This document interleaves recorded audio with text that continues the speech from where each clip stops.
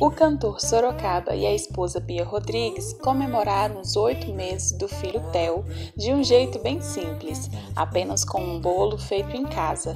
Ao publicarem um registro do momento, a modelo comentou: Nosso bolinho feito em casa, com o tema família, foi o mais gostoso.